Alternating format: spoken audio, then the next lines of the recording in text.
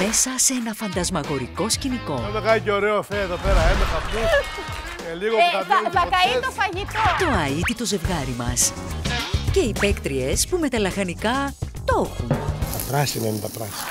Πάμε τώρα σε ένα δικηγόρο. Διαζύγιο με τη μαγειρική. Τώρα Πίνεις τώρα την η μαμά μου μαγειρεύει καλύτερα από τη δική σου. Σήμερα στις 3 παρα 10 το μεσημέρι. Στον Sky.